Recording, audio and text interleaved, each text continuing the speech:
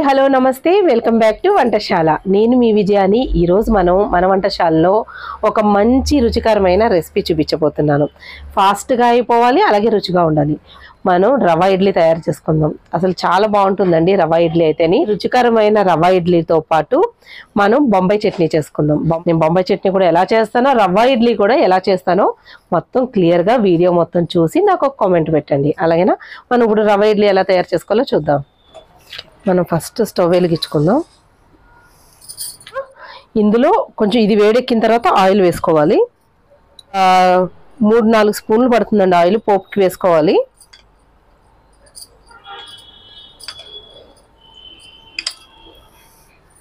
ఇలా వేడయిన తర్వాత ఆవాలు వేసుకుందాం. ఆవాలు ఒక్క స్పూన్ వేస్తున్నాను. ఆవాలు చిటపటలు అన్న తర్వాత ఒక స్పూన్ శనగపప్పు. ఒక రెండు పచ్చిమిరపకాయలు చిన్న చిన్న ముక్కలు కట్ చేసుకుని వేసుకోవాలి. అలాగే ఒక కరివేపాకు రెబ్బల్ని కొద్దిగా కట్ చేసుకుని వేసుకుంటే మంచి ఫ్లేవర్ వస్తుంది. అలాగే దాన్ని వేయించుకోవాలి. కొద్దిగా వేగిన తర్వాత శనగపప్పు ఇవన్నీ వేగిపోయిన తర్వాత ఒక్క గ్లాసు రవ్వ వేస్తున్నాను బొంబాయి రవ్వ. వేసి కలుపుకోవాలి. కలిపేసుకుని స్టవ్ ఆఫ్ చేసేసుకుందాము. ఎక్కువసేపు వేగకూడదు అది మన ఊరికే కలుపుకోవాలి అంతే ఇందులో ఒక పావు టీ స్పూన్ ఉప్పు వేస్తున్నాను. మీ రుచికి తగ్గట్టుగా ఉప్పు చూసుకుని వేసుకోండి. ఇది కొంచెం చల్లారాలన్నమాట. చల్లారాలి అంటే ఒక ఐదు నిమిషాలు అయితే చల్లగా అవుతుంది. అప్పుడు మనం ఇందులో పెరుగు కలుపుకోవాలి. ఇలాగే కనుక వేసామంటే మొత్తం పెరుగంతా పీల్ చేసుకుంటుంది అనమాట అది గట్టిగా అయిపోతుంది. అందుకని మీకు ఒకవేళ మనకి తొందరగా కావాలి అంటే ఇది వేరే గిన్నెలోకి తీసేసుకుని కొద్ది తొందరగా చల్లారదు. ఈ మూకుడు వేడికి అది ఏ గిన్నెన వేడిగా ఉంటుంది అందులో ఈ కుండ వేడికి తొందరగా చల్లారదు. కొంచెం వేడిగా ఉంటుంది. అందుకని మనం వేరే గిన్నెలోకి తీసేసుకుందాం. మనం ఫస్ట్ ఇవన్నీ కలుపుకున్నాం కదా ఇది చల్లారే వరకు. అలాగే కొత్తిమీర. చిన్నగా కట్ చేసుకోవాలి. ఎంత సన్నగా కట్ చేసుకుంటే అలాగా అన్ని మనం ఎన్ని ఇడ్లీలు వేస్తాం అన్ని ఇడ్లీలోకి సమానంగా వస్తాయి అన్నమాట అయితే కొత్తిమీర వేసిన తర్వాత పెరుగు ఒక కప్పు రవ్వ తీసుకున్నాం కదా అదే కప్పుతోటి పెరుగు తీసుకోవాలి. ఒక ముప్పావు భాగం పెరుగు వేసుకోవాలి. ఒక కప్పు ఫుల్ వేసుకున్నా పర్వాలేదు. ఎక్కువ పెరుగు ఫ్లేవరే వచ్చేస్తుంది మనం వేసుకున్నామంటే అలాగా. అందుకని పావంతు తగ్గించాను అనమాట కొంచెం ఇక్కడికి వేసాను పెరుగు అయితేని రవ్వ ఫుల్గా వేసాను కదా ఇక్కడికి పెరిగేస్తున్నాను. పెరుగు మొత్తం వేసేసుకుని ఇందులోది బాగా కలుపుకోవాలి. ఇది పెరుగు కలిపిన తర్వాత ఒక ఐదు నిమిషాల తర్వాత ఏమవుతుందంటే గట్టిగా అయిపోతుంది. తర్వాత మనం వాటర్ వేసుకుని కలుపుకోవచ్చు. ఇలా చూడండి ఇలా ఉంది కదా? దీన్ని ఒక ఐదు నిమిషాలు మూత పెట్టేసి పక్కన పెట్టుకుందాం. స్టవ్ వెలిగించుకుని ఇడ్లీ పాత్ర పెట్టుకుని అందులో వాటర్ వేసుకుందాం. మనం ఇడ్లీ ఉడకడానికి సరిపడగా వాటర్ వేసుకున్నాను ఇంకొకటి వాటర్ బాగా మరుగుతున్నప్పుడు మనం ఇడ్లీ రేకులు పెట్టాలి. ముందు మనం ఇడ్లీ రేకులు పెట్టేసి అప్పుడు స్టవ్ వెలిగించామంటే ఇడ్లీ గట్టిగా వచ్చేస్తాయి అనమాట ఓకే?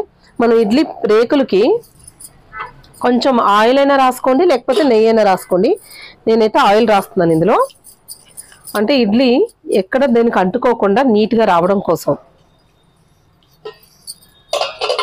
క్యారెట్ పీసెస్ పెడుతున్నాను ఇందులో. ఇదిగోండి జీడిపప్పు అలుకులు కూడా పెడుతున్నాయి ఇలాగా. అన్ని ప్లేట్లకి ఇలా రెడీ చేసుకున్నాం చూడండి మనం పెరిగేసి కలిపి పెట్టుకున్నాం కదా ఎలా డ్రై అయిపోయిందో మొత్తం గట్టిగా అయిపోయింది. ఇందులో కొంచెం వాటర్ వేసుకోవాలి ఇప్పుడు. వాటర్ ఒకటేసారి వేయకండి కొంచెం కొంచెం వాటర్ వేసుకుంటూ మనం ఇడ్లీకి పిండి ఎలా కలుపుకుంటాం జారుగా అలా కలుపుకోవాలి. ఇదిగో చూడండి ఇలా ఉంటే చాలన్నమాట.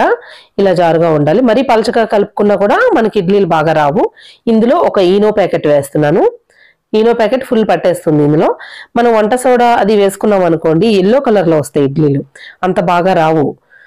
అయితే ఇలా కలుపుకుని ఎక్కువసేపు కూడా మనం పెట్టుకోకూడదు. ఒక్క నిమిషం పాటు కలిపేసుకుని ఆ తర్వాత ఒక నిమిషం అయిన తర్వాత మనం ఇడ్లీలు వేసేసుకోవాలి. ఇడ్లీ పాత్రలో వాటర్ మరుగుతుంది కదా ఇప్పుడు ఈ ప్లేట్లలో మనం ఇడ్లీ మిశ్రమం చేసుకున్నాం కదా ఆ పిండిని వేసేసుకుందాం.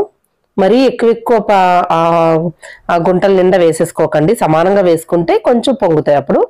మరీ ఎక్కువ వేసామంటే ప్లేట్ నిండా పొంగిపోయి వచ్చేస్తాయి. ఇలా వాటర్ మరుగుతున్నప్పుడు మనం ఒక్కొక్క ప్లేటు రెడీ చేసేసుకుని పెట్టేసుకుందాం. ఇప్పుడు మూత పెట్టేసుకుందాం పెట్టుకుని ఐదు నిమిషాలు హై ఫ్లేమ్లో రెండు నిమిషాలు లో ఫ్లేమ్లో పెట్టుకుందాం. మనం ఇడ్లీ ఉడికే లోపల ఆలు బేసన్ కర్రీ రెడీ చేసుకుందాం. ఆలు బేసన్ కర్రీకి ఇక ఈ గిన్నె పెట్టాను కదా ఇది కొంచెం వేడి అయిన తర్వాత ఆయిల్ వేసుకుందాం ఇందులో.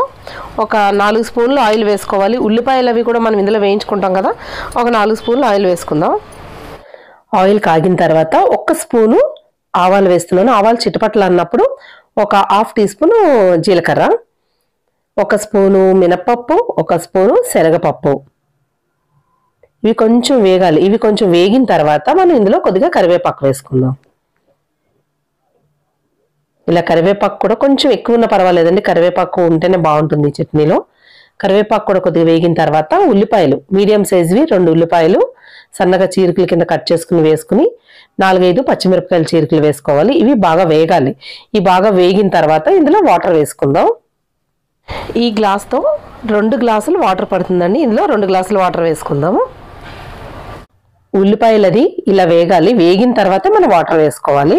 నేను ఇందులో రెండు గ్లాసులు వాటర్ వేస్తున్నాను. ఈ వాటర్ కూడా బాగా మరగాలి. ఇదిగోండి వాటర్ మరుగుతున్నాయి కదా. నేను ఇక్కడ ఆలు మూడు బంగాళదుంపలు ఉడికించి పెట్టుకున్నాను. ఉడికించి దాని మీద పెచ్చు తీసేసి తొక్క వలిచేసి ఉంచానమాట. ఇది మరుగుతున్నప్పుడు మనం దీన్ని ఇలా స్మాష్ చేసేసుకుని వేసేసుకోవడమే. బాగా మెత్తగా ఉంటే చేతితో ఇలా నలిపి వేసుకోవాలి లేదా కొంచెం ముక్కలు కోసుకుని దాన్ని ఇలా చితిపేసి వేసుకుంటే సరిపోతుంది. ఇందులో కొంచెం ఒక పావు టీ స్పూన్ పసుపు వేస్తున్నాను. అలాగే one and half spoon salt వేస్తున్నాను మీ రుచికి తగ్గట్టుగా ఉప్పు వేసుకోండి. ఆ బంగాళదుంపల్ని మనం ఇలాగా స్మాష్ చేసుకుని ఉంచుకోవాలి. ముక్కలుగా కట్ చేసుకుని ఇలా అయినా సరే మొత్తం మెత్తగా చేసుకోకూడదు. అక్కడక్కడ ముక్కల కింద ఉండాలి. ఈ బంగాళదుంప మిశ్రమాన్ని ఇందులో వేసేసుకుని బాగా కలుపుకోవాలి ఒకసారి. కలుపుకుని రెండు నుంచి మూడు నిమిషాలు ఉడికించుకోవాలి. మీడియం ఫ్లేమ్లో ఇది. ఇది బాగా మరుగుతుంది కదా ఇందులో మనం ఏం చేస్తాం? బేసన్ చట్నీ కింద చేసినప్పుడు శనగపిండి వేస్తాం. కానీ ఇందులో మనం శనగపిండి వేయట్లేదు. వేయించిన శనగపప్పు ఉంటుంది కదా ఆ వేయించిన శనగపప్పు పౌడర్ అనమాట ఇది. మిక్సీలో వేసుకొని పౌడర్ చేసుకున్నాను. ఈ పౌడర్ని వాటర్ వేసి ఇందులో కలిపి అందులో వేసుకుందాం.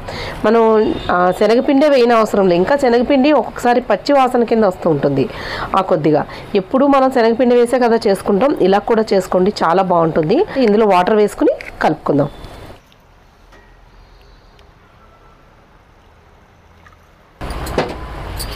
ఇది ఇలాగా పల్చగా కలుపుకోవాలి. జారుగా కలుపుకోవాలి ఇలా వాటర్ లాగా. ఇదిగో ఇందులో వేసేస్తున్నా.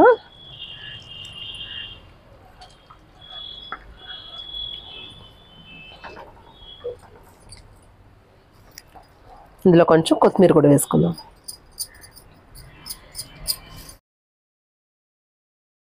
పుట్నాల పొడి మనం వేసిన తర్వాత ఒక్క నిమిషం పాటు మనం ఉడికించుకుంటే చాలు అంతే. ఒకటి రెండు నిమిషాలు అంతే. వరకు ఇందులో ఆలు బేసన్ కర్రీ అని అంటారు. ఆలు బేసన్ చట్నీ అని కూడా అంటారు దీన్ని. అయితే ఈ ఇడ్లీకి అయితే సూపర్గా ఉంటుంది. ఓకే స్టవ్ ఆఫ్ చేసేద్దాం. ఇడ్లీ అయిపోయింది. ఒకసారి మూత తీసి చూద్దాం ఇది. ఇడ్లీ అయిపోయింది కదా చూడండి ఎంత సాఫ్ట్గా వచ్చాయో ఇడ్లీలు. భలే పొంగి బాగా వచ్చినాయి కదా. వీటిని ఇప్పుడు తీసేసుకుందాం. ఇడ్లీలు అయితే ఎక్కడ అంటుకోకుండా నీట్గా వస్తున్నాయండి. మొత్తం ఈ రేకులన్నీ తీసేసుకుని రెడీ చేసి పెట్టుకుందాం. వేడి వేడి రవ్వ ఇడ్లీ రెడీ అయిపోయింది కదా. ఈ రవ్వ ఇడ్లీ ఎంత సాఫ్ట్గా వచ్చినాయో ఎలా వచ్చినాయో కూడా నేను మీకు ఇప్పుడు వీటిని కట్ చేసి చూపిస్తాను. ఇడ్లీలు చూడండి ఎంత సాఫ్ట్గా వచ్చాయో. ఇలా చూడండి ఇలా విరుస్తుంటే భలే వస్తున్నాయి అసలు చాలా సాఫ్ట్గా ఉన్న ఇడ్లీలు అయితేని. ఇది బేసన్ చట్నీ అండ్ రవ ఇడ్లీ. రవ ఇడ్లీలో బేసన్ చట్నీ ఆలు బేసన్ చట్నీ వేసుకుని వేడివేడిగా రవ్వ ఇడ్లీ బేసన్ ఆలు కర్రీతో పాటు టేస్ట్ చేసి చూద్దాం. ఆల్రెడీ నేను తిన్నానండి చాలాసార్లు. మీకోసం నేను వండింది తిని చెప్పాలి కదా అందుకని చెప్తున్నాను.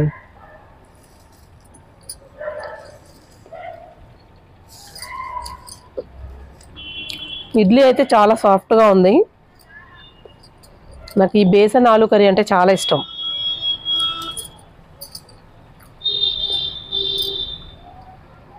ఇలా సాఫ్ట్గా ఇన్స్టెంట్గా రుచిగా అయిపోయే టిఫిన్స్ మీరు కూడా తయారు చేసి చూడండి.